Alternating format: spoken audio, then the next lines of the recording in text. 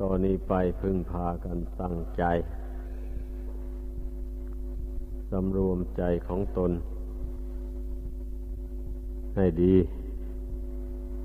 อย่าให้ใจมันพุ่งออกไปข้างนอก เรามาประชุมกัน ในศาลาการประเรียนนี้หัวมุ่งหมายก็เพื่อ จะมาพร้อมเพรียงกันทำความเพียรทั้งทางกายด้วย ทางจิตด้วย ทางกายนั้นเรียกว่านั่งสมาธิให้ตัวตรง บางคนมันทำอยู่ผู้เดียว ถูกความง่วงครอบงำเอานั่งไม่ได้ก็มี หรือไม่มีกำลังใจที่จะนั่งภาวนาก็มีในเมื่อได้มารวมกัน อย่างนี้แล้วมันก็มีกำลังใจขึ้นทำให้เกิดความกล้าหาญขึ้น ไม่ใช่เป็นนั่งง่วงนั่งหลับอยู่อย่างนั้น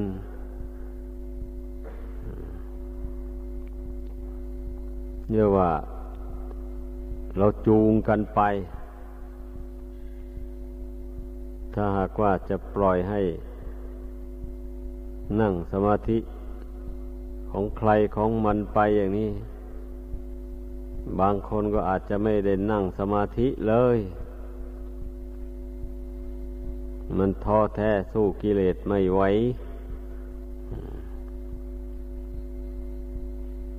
อันนี้แหละโลกอันนี้มันยิ่งกลัวกันย่อนกลัวกัน ไม่สม่ำเสมอกัน ผู้มาก่อนไปก่อน ผู้มาทีหลังไปทีหลัง หมายความว่า ผู้ใดได้สร้างบุญบารรมีมาแต่ก่อนนั้นมากได้อย่างนี้บุญบารรมีเต็มแล้วก็ละอาสวะกิเลสขาด โดยสิ้นเชิง ดับขันแล้วก็เข้าสู่พระนิพพานไป นั่นเรียกว่าผู้มาก่อนไปก่อน ผู้ใดยังสร้างบุญบารรมีไม่เต็ม บุญยังบารมียังอ่อนโยก็ทำความดีได้แต่น้อยทำไม่ได้มากเพราะการทำกุศลคุณงามความดีต่าง ๆ ในชาตินี้นะมันจะขยันมันเพียนไปได้ เพราะอาศัยบุญเก่า ที่ได้ทำมาแต่ก่อนนั้นหนุน หลังจึงค่อยขยันมันเพียรถ้าผู้ใดได้ทำบุญกุศลความดีมาแต่ก่อนน้อยไปกำลังอุดหนุนมันก็น้อยทำให้ใจอ่อนแอ สู้กับอำนาจของกิเลสไม่ค่อยไหว ก็ต้องไปตามอำนาจของกิเลส ดังนั้นผู้ใดรู้อย่างนี้แล้ว ก็ให้อดให้ทน ต่อสู้กับกิเลส เพื่อให้บารมีอินทรีย์มันแก่กล้าขึ้น ถ้าผู้ใดไม่กล้าเผชิญหน้ากับกิเลส อย่างว่านี่บุญบารมีก็ไม่แก่กล้า พอกิเลสเกิดขึ้นก็อ่อนพับไปตามมัน เช่นนี้ครั้งแล้วครั้งเล่าจิตใจผู้ใดเป็นอย่างนี้ บุญบารรมีก็ไม่เก่กล้า ให้พึงเข้าใจ บุญบารรมีมันจะแก่กล้าได้ก็เพราะว่า เป็นผู้อดกั้นทนทานสู้ต่อสู้กับอำนาจของกิเลสที่มันเกิดขึ้น ที่กิเลสมันเกิดขึ้นได้ก็เพราะว่ากำลังคุณธรรม อันเป็นเครื่องสกัดกั้นกิเลสมันมันมีน้อย มันอ่อนกำลัง มันยังสู้กับอำนาจของกิเลสไม่ไหว เหมือนอย่างคนกำลังน้อยไปปลุกปล้ำกับคนกำลังมากอย่างนี้ มันก็สู้คนกำลังมากไม่ได้ นี่ได้พากันเข้าใจ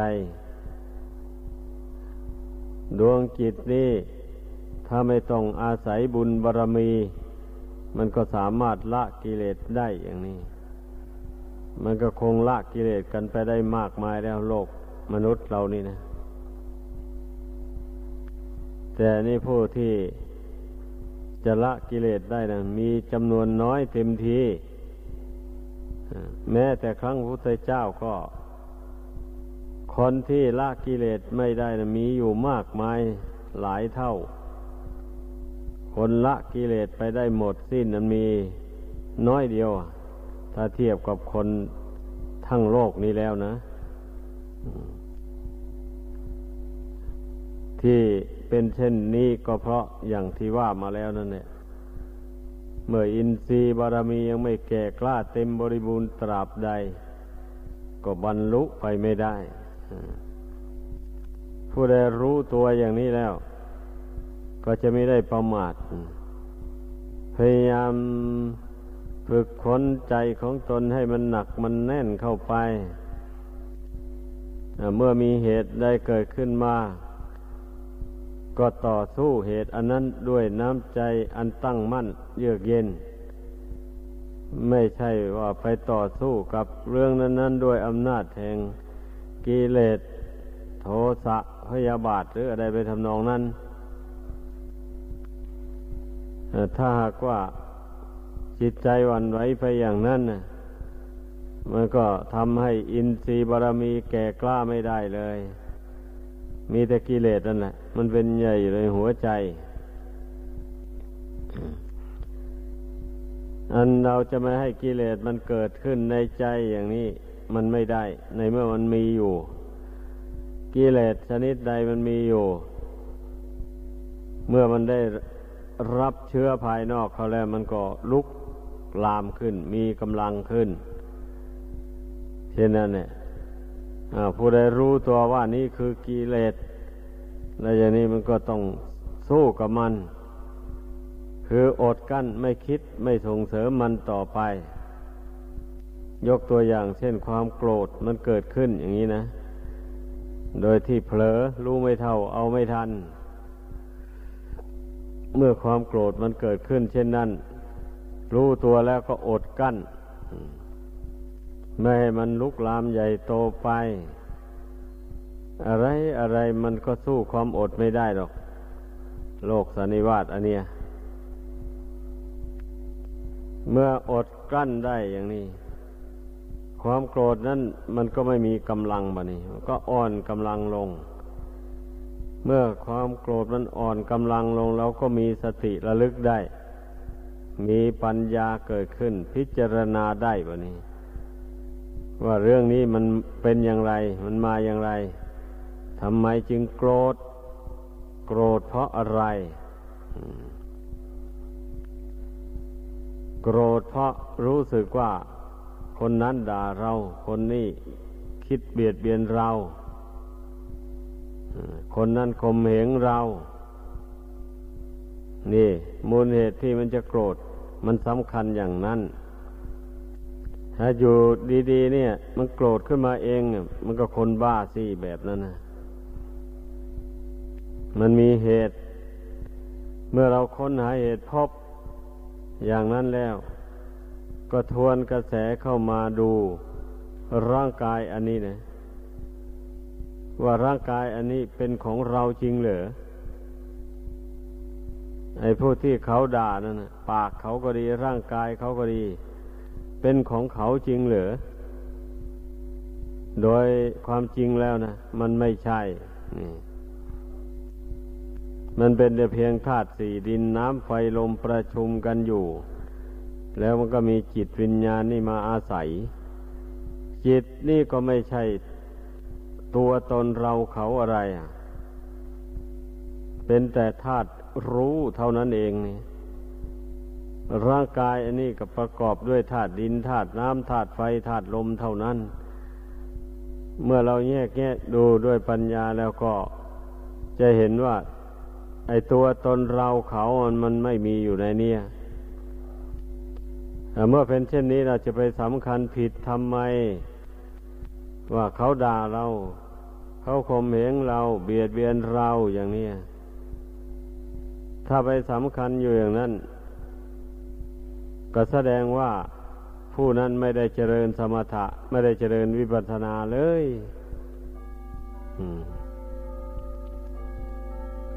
ไม่ได้ใช้ปัญญา ค้นคว้าหาความจริงของชีวิต ดังนั้นน่ะ จึงได้มีความเห็นผิดจากธรรมของจริงเลื่อยไปอะ เมื่อมีความเห็นผิดจากความเป็นจริงไปอย่างนั้นกิเลสมันก็ไม่เบาบางเลยกิเลสมันยิ่งยับเมื่อวันแต่มันจะหนาขึ้นไปเรื่อยๆ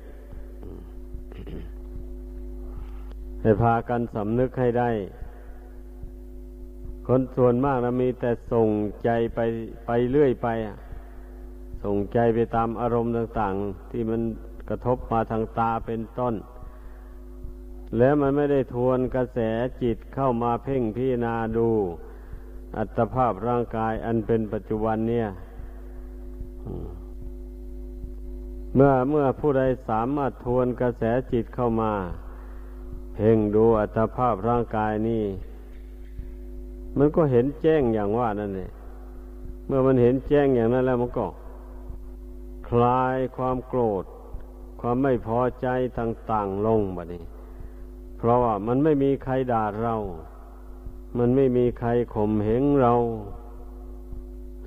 อย่างนี้ เพราะว่ามองเห็นแล้วว่าร่างกายนี่มันไม่ใช่ของเราจริงจังอะไรนี่ มีแต่สภาวธาตุ เมื่อเป็นเช่นนี้ มันก็ไม่มีใครด่าเราด่าเขาอะไร เขาผู้ด่าก็ไม่มี มีแต่สังขารเท่านั้นมันเกิดขึ้นแล้วมันก็ดับไป เสียงต่าง ๆ ก็ดีรูปต่าง ๆ ก็ดี ก็ต้องให้กำหนดรู้ว่ามันเป็นสังขาร คือสภาพที่ถูกปรุงแต่งขึ้น ความโกรธนั่นแหละมันปรุงแต่งขึ้นในใจ ให้ด่าคนนู้นให้พูดเสียดสีคนนี้ นั่น ถ้าความโกรธไม่มีแล้วมันจะไม่เป็นอย่างนั้นเลย ต้องทวนกระแสมาดูให้รู้ว่ารู้ว่าไอ้ความชั่วมันหมักหมมอยู่ในใจนี่นะมันมีอยู่เหลือถ้าผู้ใดทวนกระแสเข้ามาดูจิตใจตัวเองก็รู้ได้ ความชั่วชนิดนี้มันมีอยู่ในใจของเรา เราจะต้องกำจัดมัน จะไม่เลี้ยงมันไว้ มันมีพิษมีภัยต่อตัวเองและผู้อื่น นี่การที่บุคคลจะละกิเลสได้ ก็เพราะว่าทวนกระแสจิตเข้ามา ไม่ไม่ส่งกระแสจิตออกไปฝ่ายเดียว การส่งกระแสจิตออกไปข้างนอกนั่น ถ้าพูดในทางปฏิบัติแล้วมันผิดทาง มันส่งออกไปมันก็ไปเกาะไปคล้องอยู่ภายนอกนู่น แล้วมันก็เห็นผิดสำคัญว่าเป็นเราเป็นเขาไปอย่างที่ว่ามาแล้วนั่นนะถ้ามันทวนกระแสเข้ามาภายในนี่นะมันจะมองเห็นว่าอัตภาพร่างกายอันนี้ไม่ใช่ตัวตนของเราจริงจัง สมมุติว่ากันเอาต่างหาก สมมติว่า สมมุติว่าตาเรา หูเรา จมูกเรา ลิ้นเรา กายเรา อย่างนี้ใจเราล้วนได้สมมุติทั้งนั้นแหละ อันที่ว่าหมู่นี้นะ เมื่อเพ่งดูตามความเป็นจริงแล้ว ไม่ใช่ตาเรา เป็นแต่ธาตุสี่ดินน้ำไฟลมเท่านั้นประชุมกันอยู่ แต่สมมุติว่าตา เท่านั้นเองหรอก สิ่งที่ถูกสมมุตินั่นนะหมายความว่ามันมีมันประกอบขึ้นด้วยธาตุดินธาตุน้ำธาตุไฟธาตุลมแล้วแถมอากาศธาตุเข้าไปอีก แถมวิญญาณนธาตุเข้าไปอีกวิญญาณมาอาศัยตานี่อยู่นี่ วิญญาณอาศัยหู วิญญาณอาศัยจมูก วิญญาณอาศัยลิ้น วิญญาณอาศัยอวัยวะ ร่างกายน้อยใหญ่ต่างๆมูนี่วิญญาณมันมาจากไหนล้วบะนี่วิญญาณมันก็ออกมาจากจิตนั่นแหละก็หมายถึงอาการของจิตนั่นเองนะ ถ้าไม่มีจิตอาศัยอยู่ในร่างกายเนี่ย วิญญาณตาเป็นต้นก็ไม่มี นั่นต้องพิสูจน์ดูให้มันเห็น วิญญาณนี่ต่างๆนี่มันมันรับรู้อารมณ์ภายนอก เช่นวิญญาณตา มันก็รับรู้รูปที่มากระทบตา วิญญาณหู มันก็รับรู้เสียงที่มากระทบหู วิญญาณจมูก มันก็รับรู้กลิ่นที่มากระทบจมูก วิญญาณลิ้น มันก็รับรู้รสอาหาร ที่อร่อยหรือไม่อร่อย เป็นต้น วิญญาณกาย ก็มีหน้าที่รับรู้สัมผัส คือว่าสิ่งต่างๆที่มาสัมผัสมาถูกต้อง เช่น หนาว ร้อน อย่างนี้นะ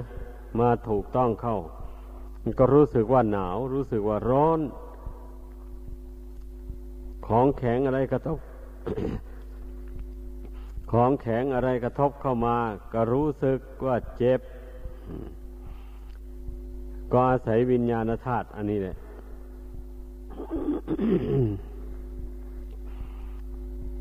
มันรับรู้ นี่ ที่นี้ ถ้าเมื่อจิตดวงนี้มันถอนออกจากร่างนี้แล้ว วิญญาณก็ดับไปหมดเลย ร่างกายนี้มันก็เหมือนท่อนกล้วย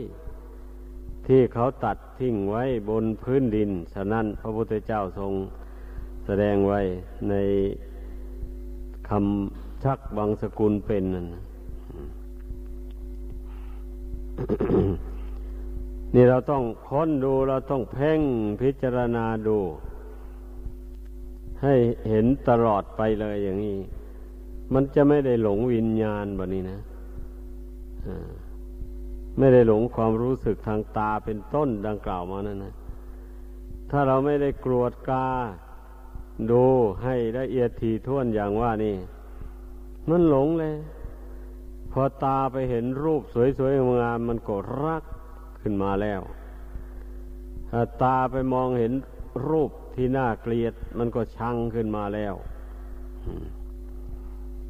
อย่างนี้แหละ แม้หูจมูกลิ้นกายทุกอย่าง มันได้สัมผัสกับเสียงเป็นต้นเหล่านั้นนะมันก็ เมื่อมันไม่ได้พิจารณาด้วยปัญญาเห็นแจ้งล่วงหน้าไว้ก่อนแล้ว มันก็หลงยินดี หลงยินร้ายไปอยู่อย่างนั้นนะ ความยินดียินร้ายอันนี้แหละ มันก่อให้เกิดความโลภความโกรธอย่างหนาแน่นขึ้นมา คือว่ายังหยาบนั่นแหละความโลภความโกรธความหลงยังหยาบ มันจะเกิดขึ้นได้ก็เพราะ มันไม่รู้เท่า ความยินดียินร้ายที่มันเกิดขึ้นในใจนี่แหละ ความยินดียินร้ายที่แรกมันก็เกิดขึ้นอ่อนๆไม่ไม่ไม่แรงไม่ร้ายแรงทีนี้ถ้าหากว่าไม่รู้เท่าไม่ระงับมัน ปล่อยให้มันมากขึ้นไป มันก็กลายเป็นความโลภความโกรธความหลงไป กลายเป็นมานะทิฏฐิไป แข็งกระด้างกระเดืองไม่ยอมอ่อนน้อมต่อใครเลยอย่างนี้นะ นี่การเจริญวิปัสสนา มันก็ต้องเพ่งพิจารณาให้ถึงความจริงอย่างนี้ พิจารณาอัตภาพร่างกายอันนี้แหละ ให้มันถึงความจริง ถ้าไม่ได้พิจารณาให้เข้าถึงความจริงอย่างว่านี่มันก็หลงว่าเป็นเราเป็นเขาอยู่อย่างนั้นแหละ อันว่าใครสรรเสริญเยินยอ ก็ปลื้มอกปลื้มใจว่าแหมมีคนสรรเสริญเยินยอมากนะเราเนี่ย อย่างนี้ดีอกดีใจ นี่เลยว่าลืมตัว ที่แท้เขาสรรเสริญก้อนดินก้อนน้ำก้อนไฟก้อนลมนี่ต่างหากนี้ ร่างกายทุกส่วนนี่มันก็มีแต่ธาตุสี่นี่นะ ทีนี้ถ้ามีใครเขานินทาว่าร้ายมาอย่างนี้ก็ เอาแล้วเอ๊เจ้านั่นนี่มันว่าเรามันด่าเรา มันอิจฉาเบียดเบียนเรา นี่มาสมมติเอาธาตุดินน้ำไฟลมอันรวมเรียกว่าร่างกายนี้ว่าเป็นเราเข้าแล้ว อย่างนี้ทำไมล่ะจึงไม่กำหนดรู้นี่อัน การที่มันจะได้ท่องเที่ยวเกิดแก่เจ็บตายอยู่ในสงสารอันนี้ ไม่รู้จักจบจักสิ้นนะก็เพราะเหตุปัจจัยเหล่านี้แหละ ให้พากันเข้าใจ เอาไปสร้างกิเลสเหล่านี้เกิดขึ้นในใจแล้ว กิเลสเหล่านี้มันก็บันดาลให้ทำบาปฆ่าสัตว์ลักทรัพย์ประพฤติผิดในกาม กล่าวมุสาวาทดื่มสุราเมรัย เครื่องดองของเมาของเสพติดให้โทษทุกชนิด บุคคลจะทำชั่วห้าอย่างนี้ได้ อย่างใดอย่างหนึ่งก็ดี หรือว่าหลายอย่างก็ดี ก็เพราะอาศัยกิเลสดังกล่าวมานั่นเองนะกิเลสจะเกิดขึ้นมาได้ก็เพราะไม่สำรวมใจ ให้สงบไม่เจริญปัญญาวิปัสนา ไม่เห็นแจ้งในร่างกายนี้ ตามเป็นจริง ความโลภโกรธหลงมันถึงได้เกิดขึ้น มานะความถือตัว ถือว่าตนแข็งแรงดี แม้จะตีกันเราก็ไม่กลัวจะทำร้ายซึ่งกันและกันอย่างไรเราก็ไม่กลัว นี่ความสำคัญผิดอะนึกว่าตนเนี่ยนึกว่าร่างกาย อันนี้มันจะแข็งแรงสู้ได้ มันจะไปสู้ได้ยังไงแล้ว คนกำลังแข็งแรงอ้วนทุน พอลูกปืนมันถูกเข้าไปเท่านั้นทะลุไปเลยออะไรมันจะไปสู้ได้ มันเข้าใจผิดต่างหากนั่นแหละ อย่าไปเข้าใจผิด ผู้เจริญสมถะวิปัสนา ผู้ปฏิบัติธรรมนะสละลงไปเสียเถิด ปรงมันลง วางมันลง อย่าไปสำคัญว่าเป็นของเรา มันเป็นการเพาะกิเลสให้หนาแน่นขึ้น แล้วมันเป็นเหตุให้ทำบาปถ้าผู้ใดหัดปรงมันลงวางมันลง ไปแล้วมันก็เบาใจ ใครด่ามา มันก็ระลึกได้ว่าเขาไม่ได้ด่าเรา เขาด่าดินด่าน้ำด่าไฟด่าลมต่างหากใครสรรเสริญเยินยอมา มันก็รู้ได้ว่า เขาไม่ได้สรรเสริญเราดอกเขาสรรเสริญดินน้ำไฟลมต่างหาก เมื่อมันรู้ได้ระลึกได้อย่างนี้มันก็ไม่ยินดีเพลิดเพลินไปตามคำสรรเสริญเยินยอนั่นนั่น จิตก็เป็นปกติโยนี่ ต้องพิจารณาดูให้เห็นเพราะเมื่อเป็นเช่นนี้นะทำไมล่ะ เราจึงจะมัวเมาประมาทอยู่ ในเมื่อความจริง มันมีให้เราเพ่งให้เราพิจารณาเห็นอยู่นี้ ไม่ใช่อยู่ลี้ลับที่ไหน ร่างกายอันนี้นะ มันเป็นของมองเห็นด้วยตาหนังต้งต้งอยู่ดีๆเนี่ยผมขนเล็บฟันหนังเป็นต้นเหล่านี้ ไม่ใช่อยู่ลี้ลับซับซ้อนที่ไหนอะพิจารณาดูให้มันเห็นทำไม จึงเป็นผู้ประมาทอยู่เตือนตนเข้าไปสิ สมควรที่จะรู้จริงตามเป็นจริงในชีวิตนี้แล้ว เมื่อตนได้มีศรัทธา เชื่อมั่นในข้อปฏิบัติคือถ้าเป็นเครือหัดก็เชื่อมั่นในทานในศีลในภาวนา ถ้าเป็นนักบวชก็เชื่อมั่นในศีลในสมาธิในปัญญานี่ ข้อปฏิบัติสามประการนี้นะจะพาตนในพ้นทุกข์ไปได้ ถ้าตนลงมือประพฤติปฏิบัติตามไป นี่ทำไมจึงมานอนรับนอนหลับทับสิทธิ์อยู่ ไม่บำเพ็ญคุณธรรมเหล่านี้ให้เกิดขึ้นในใจ ใครก็ช่างแหละ ที่ท่องเที่ยวเกิดแก่เจ็บตายอยู่ในโลกอันนี้ ถ้าไม่ได้มาเจริญศีลสมาธิปัญญานี่แล้ว จะพ้นทุกข์ไปไม่ได้เลย จะเที่ยวตายเที่ยวเกิดอยู่สักกี่หมื่นชาติแสนชาติก็พ้นทุกข์ไม่ได้ ไม่มีข้อปฏิบัติอย่างอื่น ที่จะชำระจิตใจ นี่ให้สะอาดปราศจากกิเลสตัณหา นานาประการนี่ไม่มีคุณธรรมอย่างอื่นนะจะมากำจัดกิเลสในหัวใจให้หมดสิ้นไปนั้นไม่มี ถ้าว่ามีเช่นนี้ ไอ้พวกที่นับถือลัทธิอื่น ศาสนาอื่นเหล่านั้น มันก็ต้องสิ้นกิเลสไปหมดแล้วสิ ก็เป็นพระอริยบุคคลเป็นผู้ไม่ครองเรือนแล้ว แล้วก็จะไม่เบียดเบียนกันเลย นี่ปรากฏว่า ไอ้พวกนับถือลัทธิอื่น ศาสนาอื่นนี่ พวกเดียวกันก็ยกพวกตีกัน เบียดเบียนกัน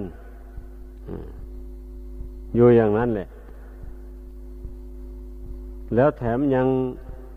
คิดทำลายล้างลัทธิอื่น ศาสนาอื่นให้หมดไปจากโลกนี้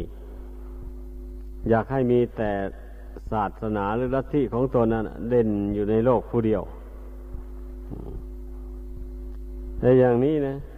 แล้วมันจะเป็นธรรมได้อย่างไรอะแนวทางของลัทธิหรือว่าศาสนาต่าง ๆ ในโลกนี้นะ มันจะเป็นทางหลุดพ้นจากทุกข์ได้อย่างไร แก่ผู้ปฏิบัติตาม ไม่มี มีแต่พอกพูนกิเลสอิจฉาริษยากันพยาบาทจองเวรกันไป อยู่อย่างนั้นนะ ส่วนว่าพุทธศาสนานี่ หรือว่าศีลสมาธิปัญญา ข้อปฏิบัติสามประการนี้นะล้วนแต่เป็น รื่องกำจัดความโลภความโกรธความหลง อิจฉาพยาบาทมานะทิฏฐิต่างๆหมดนี้นะ ให้เบาบางหมดไปสิ้นไป จากดวงจิตนี้ทั้งนั้นเลยก็ลองสันนิษฐานดูเป็นยังไงล่ะ อย่างศีลอย่างนี้นะพระพุทธเจ้าทรงบัญญัติข้อศีลไม่มีลำเอียงเลย คำว่าปานาติบาตห้ามไม่ให้ฆ่าสัตว์อย่างนี้นะอา้าวคำว่าสัตว์นี่จะหมายเอาสัตว์ประเภทไหนบ้างอย่างนี้ทุกประเภทเลย แต่บรรดาที่ท่องเที่ยวเกิดแก่เจ็บตายกันอยู่ในโลกอันนี้รวมเรียกว่าสัตว์ตวโลกทั้งนั้นเลย จะเป็นสัตว์ตัวเล็ก ๆ ที่สามารถมองเห็นด้วยตา ขึ้นไปจนโตที่สุดเท่าช้างนุนผู้ใดฆ่าผู้ใดทำลายชื่อว่าเป็นบาปทั้งนั้นเลย ต่างแต่ว่าบาปมากบาปน้อยกว่ากันเท่านั้นแหละ สัตว์ใหญ่มันก็เป็นบาปมาก สัตว์เล็กบาปมันก็น้อยลงเป็นอย่างนั้นสัตว์ที่มีคุณมันก็บาปมากสัตว์ที่มีคุณ ก็หมายเอาทั้งช้างม้าวัวควาย แล้วหมายถึงคนเรานี่ด้วย เช่นมารดาบิดา ลุงป้านาอา ครูบาอาจารย์ ผู้แนะนำสั่งสอนวิชาความรู้ต่าง ๆให้ ทั้งทางโลกและทางธรรมมือนี้ผู้ใดไปร่วงเกินเบียดเบียนเนี่ย เป็นบาปเป็นกรรมมากกว่าไปเบียดเบียนบุคคลธรรมดาสามัญเพราะท่านที่กล่าวนามมานี้ล้วนแต่มีอุปการะคุณแก่ตน ทั้งนั้นเลย เป็นอย่างนี้ไอเรื่องการฆ่าอย่างนี้นะ่ะ ในพระพุทธศาสนานี่ พระพุทธเจ้าทรงแสดงรายละเอียดออกไปอย่างนี้แหละ ดังนั้นเนี่ยคำว่าข้อศีลในพุทธศาสนานี้ไม่มีลำเอียงเลยในข้อศีลนอกพุทธศาสนาออกไปนะมันมันบัญญัติห้าม เป็นเป็นหมวด เป็นหมู่เป็นบุคคลไป อย่าว่าห้ามฆ่าสัตว์นี่ห้ามฆ่าคนฉะนั้น ส่งวิญญาณมันไปเกิด อยู่บนสวรรค์กับพระผู้เป็นเจ้าเสีย แล้วมันจะได้รับความสุข ดังนั้นจึงได้จับสัตว์เหล่านั้นมาฆ่าลงไปเพื่อส่งวิญญาณมันไปเกิดกับพระเจ้าอยู่บนสวรรค์ นี่ แล้วลองผู้มีปัญญานะลองพิสูจน์ดูสิว่าความคิดความเห็นอย่างนั้นนะ่ะ มันเป็นธรรมหรือเปล่า นั่น ถ้าผู้มีปัญญามีใจเป็นกลาง ไม่ดำเอียงไปด้วยอำนาจของกิเลสแล้ว ก็จะต้องเห็นว่าไม่ไม่เป็นธรรมแล้ว ความเห็นอย่างนั้น มันลำเอียงอะฉะนั้น ความเห็นในทางพุทธศาสนานี่ จึงชื่อว่ารอบครอบกว่าเป็นธรรมกว่า เป็นงั้นอทินนาทานการถือเอาสิ่งของผู้อื่นมาเป็นของตนมูนี่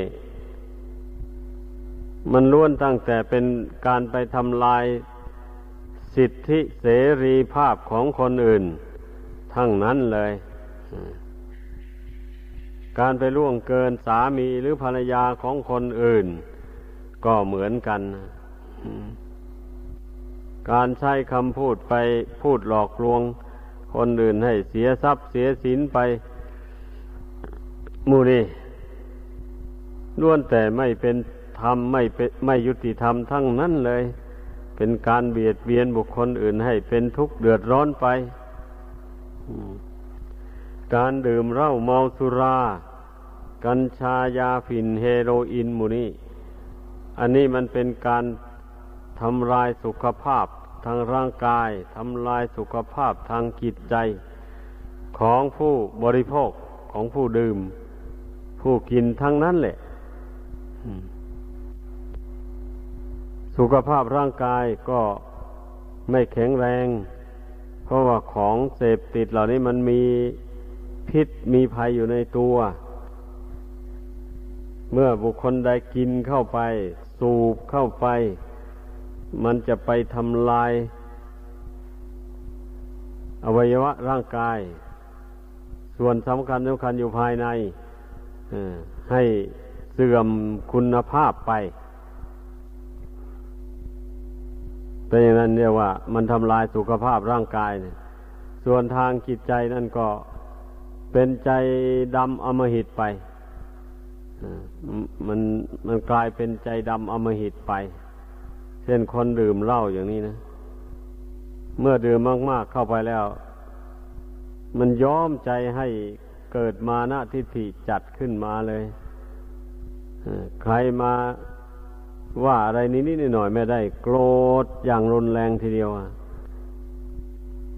โกรธแล้วก็สามารถฆ่าผู้อื่นได้เลยวันนี้ แม้ผู้มีคุณก็ฆ่าได้ มันลืมนี่มันนึกไม่ได้เลย เมื่อมันเมาได้ที่แล้วนะ ถึงป่านนั้นเนี่ยจึงชื่อว่ามันเป็นการทำลายสุขภาพทางจิต ของมึนเมาต่าง ๆ ดังกล่าวมาเนี่ย นี่ลองคิดดู พระพุทธเจ้าทรงบัญญัติศาสนานะ ผู้มีปัญญาได้พิจารณาดูแล้ว ไม่มีช่องโหว่อะไรที่จะตำหนิได้เลยคำสอนของพระพุทธเจ้านะแล้วรวมความลงแล้วเรียกว่า พระพุทธเจ้านั้นทรงบัญญัติห้ามไม่คนทำชั่ว ด้วยกายวาจาใจ อย่างละเอียดละออทีเดียว ความชั่ว มีเท่าไหร่พระองค์รู้หมดทรงสอนให้เที่ยวกรรมจัดมันให้หมดไปสิ้นไป จากดวงกิจนี้ ความชั่วมันก็มีอย่างหยาบ อย่างกลาง อย่างละเอียดบันิธรรมะที่จะกำจัดความชั่วคือกิเลสเหล่านี้ มันก็มีอย่างหยาบ อย่างกลาง อย่างละเอียด พอๆกันเลยเป็นอย่างนั้น เอากิเลสอย่างหยาบก็เอาธรรมะอย่างหยาบนั้นปราบมัน อย่างนี้แหละ ความโลภอย่างนี้นะ ความตนีอย่างนี้นะก็เอาความสันโดษมักน้อยนั่นนะเข้าไปปราบ ความสันโดษคือถือยินดีตามมีตามได้ ตนแสวงหามาได้ด้วยความหมั่นความขยันได้มาเท่าไหร่ ก็ยินดีบริโภคใช้สอยอยู่เท่านั้น แม้คนอื่นจะมีมากกว่าตนก็ไม่อิจฉาริษยาเขา ก็แสดงความพลอยยินดีด้วย ว่าเขามีบุญมาก กวดตนเขาถึงได้ร่ำรวยอย่างนี้แหละ เอาเป็นผู้มักน้อยอย่างนี้ เมื่อตนหามาได้น้อย เอาก็ใช้ตามน้อย พอใจใช้ตามน้อยนั่นแหละ ไม่ต้องเดือดร้อน มีเท่าไรใช้มันเท่านั้น ไม่มีอะไรก็ไม่ต้องใช้มัน นี่เรียกว่าเป็นผู้มักน้อย เมื่อเมื่อคุณธรรมเหล่านี้เกิดขึ้นในใจแล้ว ความโลภความตนีมันก็เบาบางออกไปจากดวงกิจนี้ อย่างนี้เนี่ยพระธรรมคำสอนของพระพุทธเจ้านะมันเป็นเครื่องกำจัดกิเลสความชั่วต่าง ๆ ออกจากดวงกิจนี้ได้จริง ๆ นะเอาความโกรธอย่างนี้เนี่ย พระศาสดาก็ทรงสอน ให้เจริญเมตตานั้นกำจัดความโกรธนี้ และสุดท้ายก็อาศัยปัญญา ถอนรากของมันออกมา ตอนตัดก้านล้านกิ่งนี่ อาศัยเมตตาธรรม เจริญเมตตาให้มาก ๆ เข้าไปแล้วก็ ความโกรธนี่มันก็เบาบางลงไป ถ้าใครไม่ได้เจริญเมตตาแล้วก็ไม่มีทางเลยความโกรธนี่มันจะเบาบางลง จะเป็นคนใจดำอยู่อย่างนั้นแหละความโกรธกับความถือตัวว่าตัวว่าตนว่ามีตัวมีตนอันนี้เป็นคู่กันเลย ถ้าบุคคลมีความโกรธอยู่ในใจแล้วมันหวงร่างกายนี้นัก จะไม่ยอมให้ใครมาดูหมิ่นเหยียดย้ำด่าว่าเสียดสีเลย ถ้าใครมาแสดงกิริยาไม่พออกพอใจต่ออย่างนั้นนะมันก็โกรธฉุนเฉียวขึ้นมาทันทีอันนี้แหละ จึงว่ากิเลสยังหยาบนะมันทำให้เบียดเบียนบุคคลอื่นได้แล้ววะนี้ เมื่อเมื่อระงับจิตไม่อยู่แล้วผู้ใดเมื่อมาเจริญเมตตาให้มากๆอยู่เสมอเสมอไปล่ะ ความโกรธดังกล่าวมานี่มันจะไม่เกิดขึ้น ถึงมันโกรธมันก็โกรธอ่อนๆอันนี้นะไม่ถึงก็จะไปประหัตประหารคนอื่นได้ นี่แหละ ระธรรมคำสอนของพระพุทธเจ้านะลองพิสูจน์ดูบัดนี้ความหลงล่ะ ความหลงแล้วก็พระศาสดาก็สอนให้ภาวนาระงับมัน ความหลงนี่ก็คือความไม่รู้ ไม่รู้อะไร ไม่รู้ตัวเองนี่แหละก่อนอื่นทั้งหมด ไม่รู้ตัวเองเนี่ยกายกับจิตนี่เป็นมาอย่างไรอาศัยเหตุปัจจัยอะไร ตกแต่งให้เกิดขึ้นมาอย่างนี้ ระลึกไม่ได้ รู้ไม่ได้เลย รู้ได้แต่เพียงว่าตนได้เกิดเป็นคนมา ในโลกนี้กับเขาเท่านั้นแหละ เมื่อไม่รู้แจ้งเหตุปัจจัยชีวิตแล้วก็ บุคคลผู้นั้นก็เมาไปเลย ไม่รู้จักทางแก้ไข เพราะบางคนอาจจะยึดถือเอาความโลภโกรธหลงนี่ติดตัวมามากมาย มาเกิดในโลกนี้นั่นแหละเมื่อเกิดมาแล้วก็ไม่รู้ตัวว่าตนมีกิเลสว่ากิเลสนี่มันทำทุกข์ให้แก่ตนไม่รู้ ก็ประพฤติไปตามอำนาจของกิเลสนั้นเรื่อยไปอย่างนี้นะนั่นแหละคนไม่รู้จักเหตุปัจจัยในชีวิตตั้งแต่อดีต ทนลังมาปัจจุบันนี่แล้วไม่เชื่อ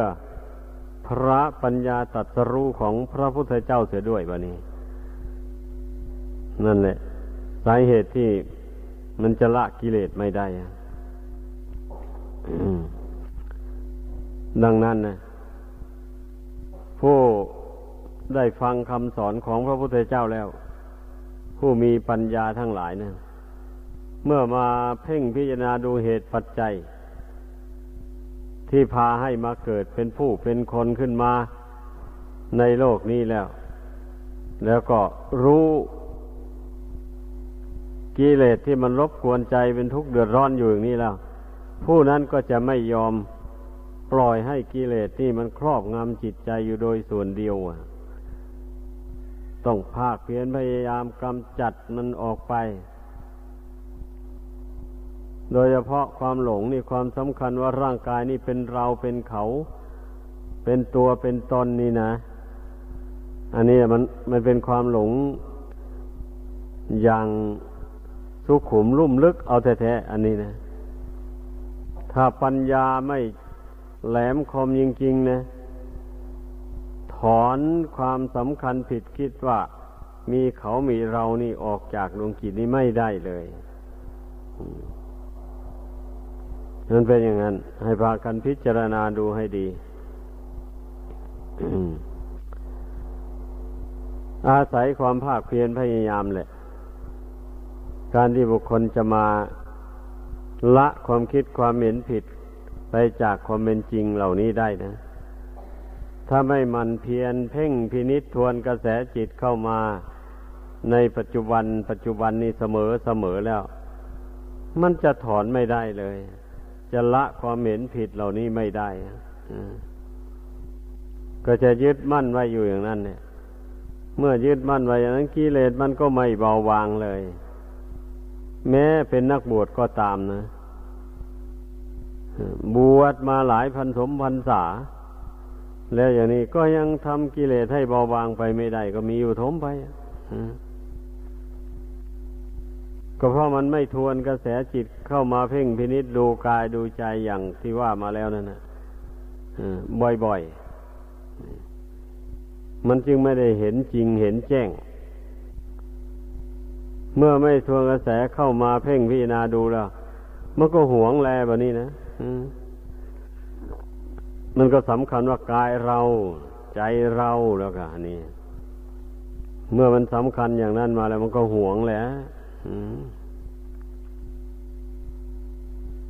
ใครจะมาตำหนิตีเตียนอะไรน้อยหนึ่งก็ไม่ได้แล้ววันนี้นะโกรธเป็นฟืนเป็นไฟขึ้นมา นี่แหละ ลองคิดดู ถ้าจิตใจผู้ใดเป็นอยู่อย่างนี้จะจะพ้นทุกข์ได้หรือคิดดูให้ดี พ้นไม่ได้จะ มีแต่สร้างความทุกข์ให้ทับถมจิตใจตัวเองอยู่นั่นเนี่ย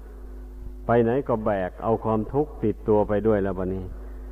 หรือแบกเอาเหตุแห่งทุกข์ติดตัวไป ติดดวงจิตนี่แหละไปแบกเอาความโลภความโกรธความหลงไปด้วยเนี่ยไปเกิดในภพใดชาติใดก็ดี เมื่อเกิดมาแล้วกิเลสแล้วมันก็เอามารบกวนจิตใจให้ พุ่งซ่านเลื่อนลอย ให้กลายเป็นคนใจดำอมหิต เบียดเบียนบุคคลอื่นและสัตว์อื่น ให้เป็นทุกข์เดือดร้อนไปอยู่ในโลกอันนี้อย่างเช่น โลกอันนี้เราเกิดมา เราก็เห็นเราก็ได้ยินอยู่ ว่ามีการฆ่ากัน มีการจี้ปล้นกัน มีการแย่งชิงลูกเมียกัน อะไรหมดนี้นะ มีอยู่แทบทุกวันถ้าหากว่า ใครได้ไปดูหนังสือพิมพ์แล้ว หนังสือพิมพ์ฉบับไหน เขาลงมาจะไม่มีเรื่องการฆ่ากันบอกรักทรัพย์กันจี้ปล้นกันอยู่แทบจะไม่มีสักฉบับเลยมีอยู่อย่างนั้นเนี่ยก็ที่มันเป็นเช่นนั้นก็เพราะอะไรเหล่านั้นแหละ เกิดมาชาติใดมันก็ไม่ได้เพียรพยายามละกิเลสเหล่านั้นเลย มีแต่สะสมมันให้มันหนาแน่นไปอะดังนั้นเนี่ยมันจึงกลายเป็นคนที่ทำลายความสงบสุขของโลกมนุษย์เหล่านี้ แล้วเช่นนั้นแหละ มันจะไม่ให้บาปกรรมมันนำไปสู่นรกอบายภูมิอย่างไรเล่าเราพิจารณาดูให้มันเห็น โทษของกิเลสเหล่านี้ เมื่อผู้ใดมาเห็นโทษของกิเลสเหล่านี้แล้วมาบำเพ็ญข้อปฏิบัติ ที่พระพุทธเจ้าทรงสั่งสอนไว้นี่ ถ้าเป็นกระหัดก็บำเพ็ญทานศีลภาวนา ถ้าเป็นนักบวชก็บำเพ็ญศีลสมาธิปัญญา นี่ให้ เกิดขึ้นมีขึ้นมากมากในกายวาจาใจของตน แล้วทีนี้กิเลสเหล่านั้นมันก็จะเบาบางลงไปทันทีเลย อย่างที่ชี้แจงมาแล้วนั่นแหละเมื่อบุคคลใดฝึกใจของตนให้ตั้งมั่นอยู่ในสันโดษคือยินดีตามมีตามได้ แล้วให้ตั้งมั่นอยู่ในความเป็นผู้มักน้อย ไม่มักมากอย่างนี้แล้วนะ ความโลภความตนีมันก็หายไปจริง ๆ เนี่ยมันเป็นอย่างนั้น มันจะไม่มารบกวนจิตใจนี้ให้เดือดร้อนเลยก็เพราะว่าเมื่อตนถือมักน้อยสันโดษอะไรนี่ ตนมีอะไร สมบัติเข้าของเงินทองมีลาบมียศอย่างไร ก็ยินดีพอใจอยู่เท่านั้น อย่างนี้นะ แล้วความโลภมันจะครอบงำจิตได้อย่างไร อะความโกรธก็เหมือนกันนะก็เมื่อตนเจริญเมตตาอยู่ทุกวันทุกคืนไป ว่า โอ้หนอ สัตว์ที่เกิดมาในโลกนี้ต่างคนก็ รักความสุขเกลียดต่อความทุกข์ทั้งนั้นไม่มีใครที่จะต้องการให้คนอื่นและสัตว์อื่นมาเบียดเบียนตน ไม่มีเลย แม้บุคคลอื่นและสัตว์อื่น เขาก็คิดเหมือนกับตนนี่ เขาก็ไม่ต้องการให้ใครเบียดเบียนเขาเลย เขาก็กลัวตายเหมือนกันนะ รักชีวิตนี่เหมือนกันกับตัวของตัวเองนี่แหละนี่นะก็เมื่อมันคิดได้อย่างนี้นะ คิดเอาเรื่องของเขากับเรื่องของเรามาเทียบกันดูอย่างนี้ มันก็เป็นเหตุให้เห็นอกเห็นใจบุคคลอื่น และสัตว์อื่น ไม่ปรารถนาที่จะเบียดเบียนเขาและมันต่อไปแล้ววันนี้ อืม นี่แหละคำว่าการเจริญเมตตานี่นะทีนี้เมื่อเราเห็นว่าเราต้องการความสุข ฉันใดบุคคลอื่นก็ต้องการความสุขฉันนั้นอย่างนี้แล้ว การทำอย่างไรพูดอย่างไร ที่จะให้เราเป็นสุขและให้คนอื่น สัตว์อื่นเป็นสุข ก็ต้องทำอย่างนั้น ต้องพูดอย่างนั้นไป นี่ มันก็ต้องเป็นอย่างนี้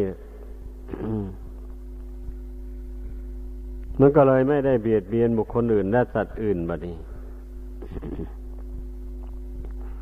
แล้วก็ไม่ได้สะสมความโลภความโกรธให้เกิดขึ้นในใจ อันความหลงนั่นน่ะ มันละเอียดสุขุมเหมือนกันเลยมันหลงไปจนถึงขั้นทำขั้นสูงขึ้นไปนึง แต่มันเป็นความหลงชั้นละเอียด แม้แต่พระอริยบุคคลสามจำพวกเบื้องต้น มันก็ยังมีความหลงแทรกแซงเข้าไปอยู่ แต่มันทักละเอียดกลัวคนธรรมดาสามัญนี่เป็นอย่างนั้นเหตุนั้นจึงต้องอาศัยการเจริญวิปัสนาปัญญา โดยอนุโลมปฏิโลม นี่ให้มากขึ้นติดต่อกันไปเรื่อยๆ เมื่อปัญญามันแหลมคมเข้าไปเท่าไรมันก็มองเห็นกิเลสละเอียดเข้าไปเท่านั้น เป็นอย่างนั้นเรื่องมันนะอันปัญญามันจะแหลมคมได้ก็โดยอาศัย การเพ่งพินิษพิจารณา อยู่เสมอเสมอไม่ไม่ท้อไม่ถอย นี่แหละการกระทำให้มากจเจริญให้มากเขาอย่างนี้นะมันก็จะเป็นไปเพื่อความรู้ยิ่ง เพื่อความเห็นจริง เพื่อความสงบระงับ เพื่อคลายความกำหนัดยินดีพอใจต่าง ๆ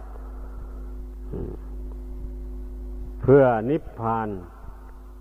คือดับทุกข์ภัยในวัฏสงสารโดยประการทั้งปวง นี่พระธรรมคำสอนของพระพุทธเจ้านี่ เป็นนิยานิกระทำนำผู้ประพฤติปฏิบัติตาม ให้พ้นจากทุกภัยในวัฏสงสารนี้ไปได้ จริงๆดังที่บรรยายให้ฟังมาโดยลำดับนี้นะ ก็เข้าใจว่าท่านผู้ฟังทั้งหลาย ก็คงจะพอพิจารณาเห็นตามได้ไม่ใช่เลยเพราะว่าเท่าเรื่องราวของชีวิตที่นำมาแสดงนี่ล้วนแต่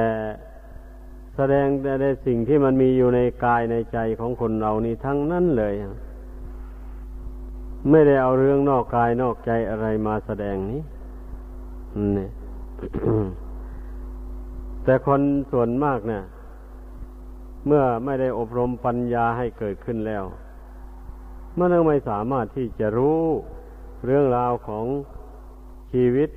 จิตใจอันนี้ได้โดยละเอียดละออเรื่องมันนะเพราะว่าชีวิตนี่มันมีปัญหาอยู่ สารพัดมากมายก่ายกองเหลือเกินนะก็กิเลสนี่แหละ มันทำให้เกิดปัญหายุ่งเหยิงขึ้นมาเนะ ทำให้เกิดความขัดข้องขึ้นมาอ้าวเช่นอย่างผู้มีความโลภจัดอย่างนี้นะ มันก็คิดจะไปอยากไปแย่งสิ่งช่อโกงหลอกลวงเอาของผู้อื่นมาเป็นของตนอยู่นั่นแหละ ของตนที่มีอยู่นี่เท่านี้เราไม่จุใจเลยมันจึงไปก่อเรื่องยุ่งให้แก่ผู้อื่น อยู่อย่างนั้นนะ นั่นน่ะพระพุทธเจ้ายังตรัสว่าโรโพธรรมานังปริปันโถ ความโลภเป็นอันตรายแห่งธรรมทั้งหลาย เมื่อบุคคลมีความโลภจัดอย่างว่านั่นแล้ว มันก็ปฏิบัติธรรมไม่ได้เลยบะนี้จะมาทำตนเป็นผู้มากน้อยสันโดษดังกล่าวมาแล้วนั้นทำไม่ได้ เมื่อเป็นเช่นนี้ การปฏิบัติธรรมมันก็เป็นไปไม่ได้ ผู้ปฏิบัติธรรมความเพียรเจริญสมถะภาวนานี่ก็ต้องรู้จักประมาณในการบริโภคปัจจัยสี่ อาหารอย่างนี้ก็รับประทานพอประมาณ อย่าให้มากเกินควร ถ้าไปโลภในอาหารแล้วก็อาหารทับทาดแล้วก็มีแต่นั่งง่วงเงาเหานอนจิตใจไม่มีเบิกบานเลย อย่างนี้นะ เอาผ้านุ่งผ้าหม่มก็พอประมาณ ไม่ให้มากเกินควร แล้วก็ไม่ใช้ของ สวยสดงดงามเกินประมาณ มันทำให้จิตใจคล่องผ้านุ่งผ้าห่มก็ดี ถ้าหากว่าไม่รู้จักประมาณเนี่ยไปใช้มากๆอย่างนี้ เงินทองหาไม่ทัน ก็เดือดร้อนเอาเป็นผู้รู้จักประมาณในที่อยู่ที่อาศัย ตนมีบุญวาสนาได้ อยู่ได้อาศัยสถานที่ใดจะเป็นที่ไม่ไม่ใหญ่โตก็ตาม หรือไม่สวยงามก็ตาม แม้แต่กระท่อมก็ยินดี อาศัยอยู่ ถ้าบุญวาสนาบุญกรรมมันตกแต่งให้อย่างไร เราก็ยินดีอาศัยอยู่ ให้นึกเสียว่าเราจะต้องอาศัยอยู่ในโลกนี้ไปไม่ได้ตลอดดอก อาศัยอยู่ชั่วคราว เราอาศัยบ้านเรือนอยู่ก็อาศัย เพียงแต่ว่าป้องกัน ลมฝน แดด สัตว์เลื่อยคานหรือว่าสัตว์ที่มันมารบกวนต่างๆหมู่นี้นะ นั่นแหละเพียงเพื่ออาศัยได้ทำกุศลคุณงามความดีได้ไหวพระได้นั่งสมาธิภาวนา ไปเท่านั้นเรา อาศัยบ้านเรือนนี่อยู่ไม่ไม่ใช่อาศัยอยู่เพื่ออวดอ้างคน ว่าฉันก็มีบ้านสวยบ้านงามอยู่ บ้านใหญ่โตอะไรอย่างนี้ไม่ไม่มุ่งอย่างนั้นนะ